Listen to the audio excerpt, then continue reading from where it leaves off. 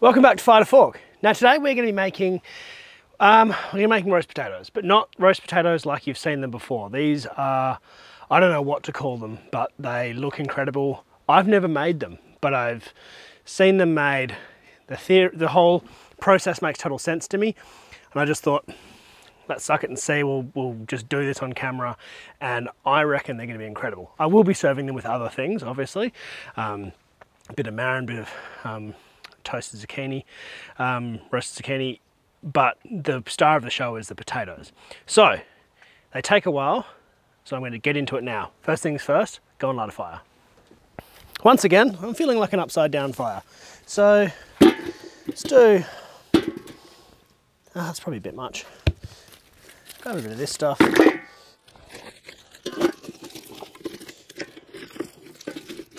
A little bit of smaller, smallish stuff on top.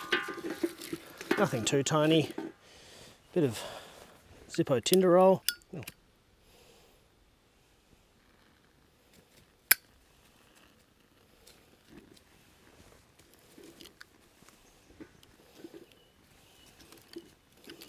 And just leave that for a bit. While we're waiting for that fire, I think we get started on peeling some potatoes. It's just me, so I think three spuds will do.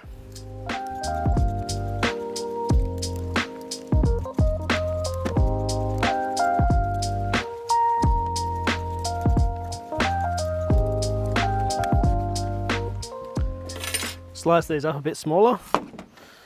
Ooh, suctioned onto the knife.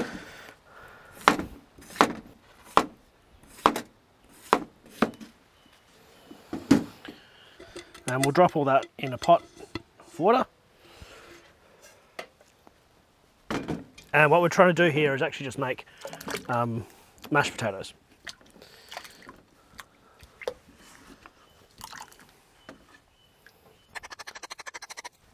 Bit of salt and lid. I'm actually going to use this to catch the marron. It doesn't, it's not bad marron bait. Uh, private property, we have a uh, Marron Dam here. I'm not just roguing it out in the bush out of season. It's all legit. You're allowed to, so if it's not in a public waterway, you're allowed to catch the marron that you put in your own dam, which is, you know, reasonable, I think. Okay, let's go and sort this out.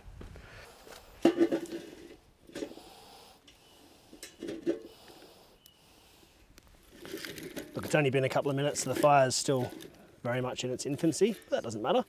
We're in no real rush. May as well just put the pot on and then go and do something else. So I'll see you in a while. A few Tins later. All right, these have been doing their thing, and the um, potato skins did their thing. They're actually about like 12 in that pot, but I only need one for dinner. So, um, we are going to just pour this, um, pour the excess water off this. Okay, so what we wanted here is some really soft potatoes. So these are really soft because uh, we are, as I said before, making mashed potatoes. Um, you don't need a potato masher for this.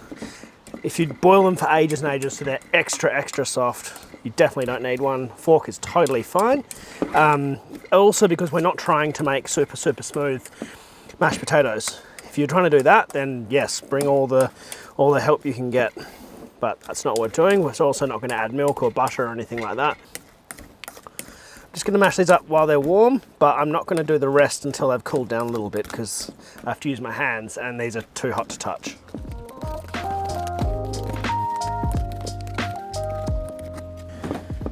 Right, give that a couple of minutes.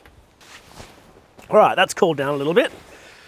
I've made myself a little afternoon ronda. if you don't know what a ronda is, it's in my cookbook. I will do a video on it at some stage.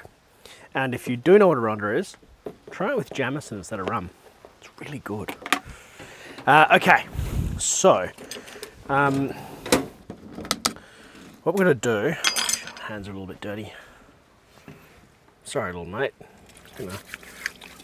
Just, a bit of ash on them from the from the firewood.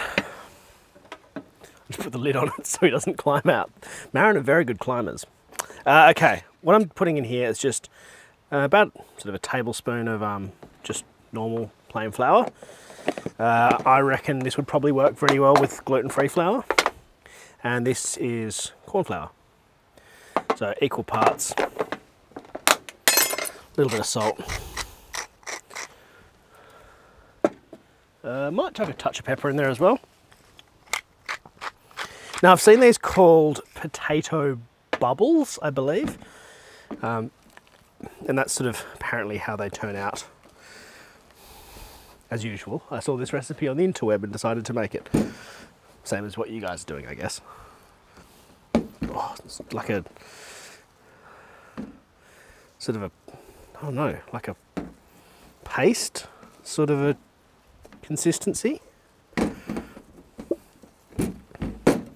Mm, I might need a little bit more flour in there, help it bind together a bit more. And this corn flour should help it crisp.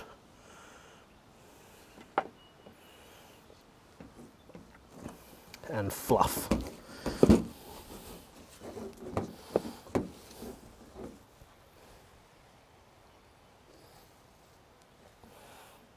Okay. I reckon I should have done this in baking paper. Maybe I will. Maybe I'll try and get some baking paper out.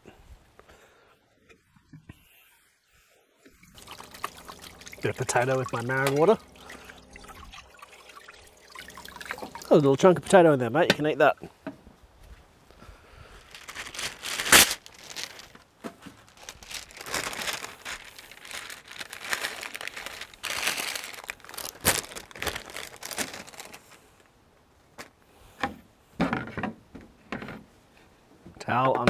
Breadboard so that the internet police don't get me.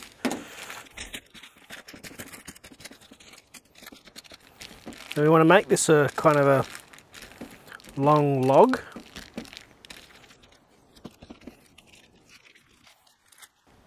You know what? This needs to be cold. This is not working when it's hot. I'm going to put that in my freezer for a little bit and we'll come back to it. Alrighty, pulled this out of the freezer. Uh, it's cold. It's been about an hour. Now what I want to do is fresh piece of baking paper because baking paper goes a bit soggy in the freezer. A little bit more flour. Um, touch more corn flour.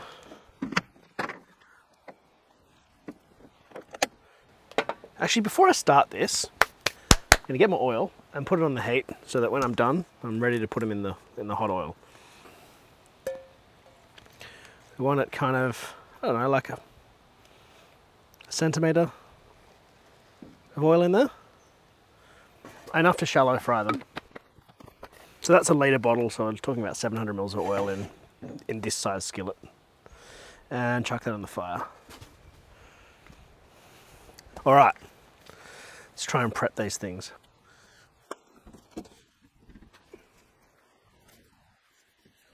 You want to kind of make a little bit of a log, a bit of flour just so it doesn't stick and because that flour is going to crisp up really nicely at the end. And then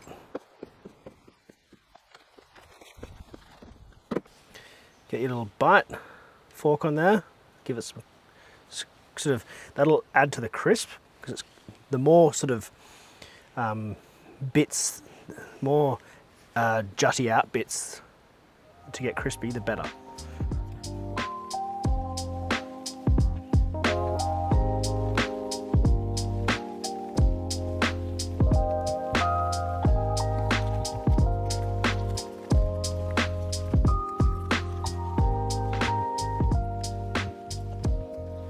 All right, that's gonna be enough for me for now. So that's gonna go in the fridge. Now, what else are we eating with this potato? Well, we've got, let's get this cleaned up a bit. All right, so to go with this potato, we've got one little marron, which I'm just gonna put a little bit of fresh garlic, sliced garlic on. Really simple. Drizzle with a very high quality olive oil. Pepper. And salt. That's it. That'll be good to grill in a minute. Yeah, I'll, I'll see what this oil's doing and then we'll I'll try and guesstimate timing. I've also got a little bit of zucchini, which is just sitting in a bit of extra virgin olive oil, balsamic salt and pepper, just to grill up. 175, it needs to be 180. Let's go and have a look, see how these things go. Oh, a little bit high, so that's at 200 now. But I'll leave that for a second.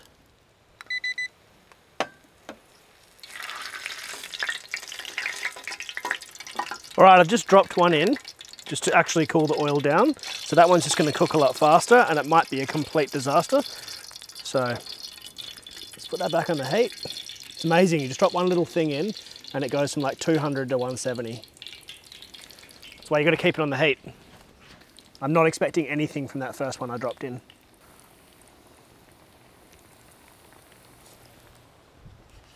I don't think these are gonna take very long. The spuds, so I'll just chuck the marron on. One on lower heat. Put it off to the side here. I'd love to use my Osprey for these, but I just don't have room on the, the hot plate. Got a lot going on here.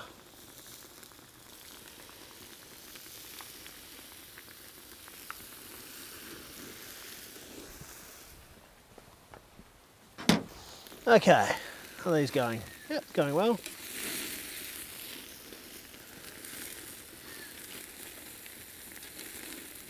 Should never flip marron, by the way, or pretty well any shellfish.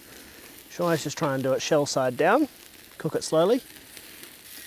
Prawns you can flip, or shrimp if you're American, or an old 80s Australian ad. Come and say good day.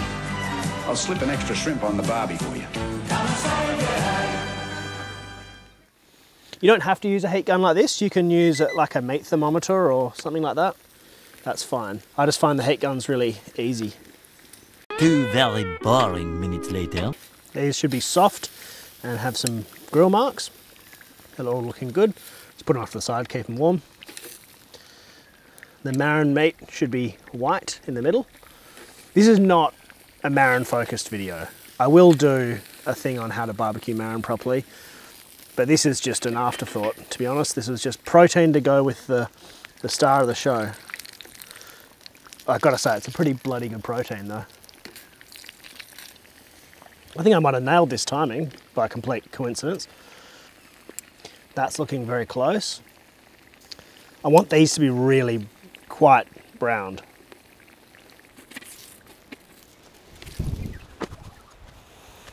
All right, I think they look ready and delicious.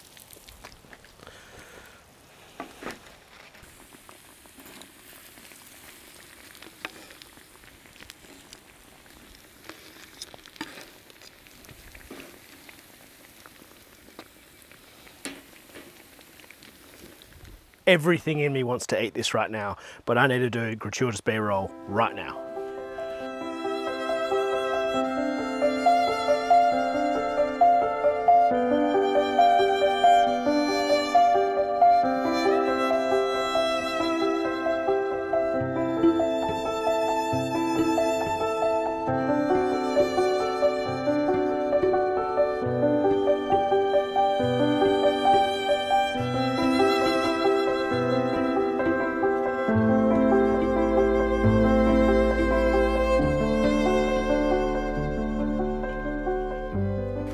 Oh, I'm so excited.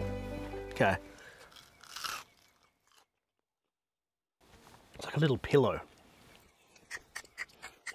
It's way more salt. Um, my word.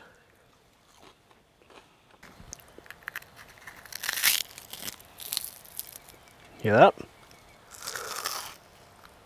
Okay. Marron,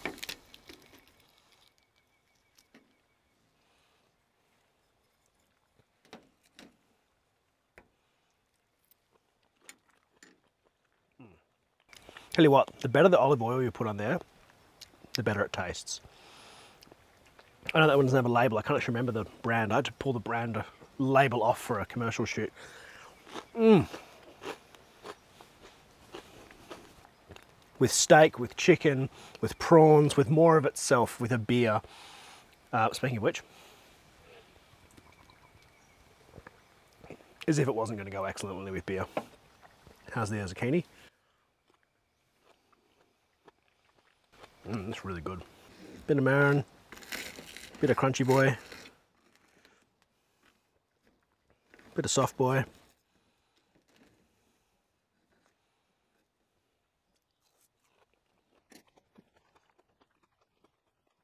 Yeah.